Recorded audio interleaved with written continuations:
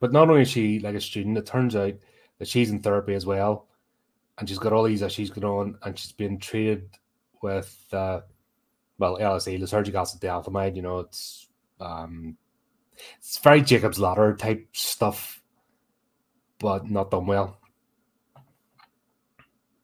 And there should have been a cue because the doctor, you know, use that term lightly with American doctors, but the doctor's like, "Oh, we'll lower your dose," and she's like, "Oh, you can't possibly lower my dose." And there's not a red flag there at all about addiction or anything.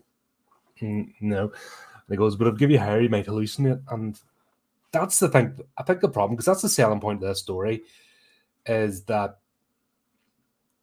she's using LSD for treatment. That's supposed to be the whole back of this story, and it makes absolutely no sense